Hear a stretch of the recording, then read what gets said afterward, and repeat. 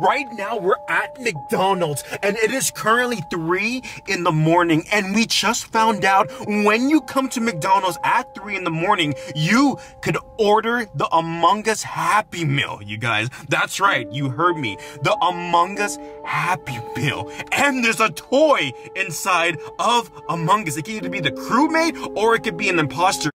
Can I get the uh, the Among Us Happy Meal to uh, Happy Meal with a cheeseburger, no pickles?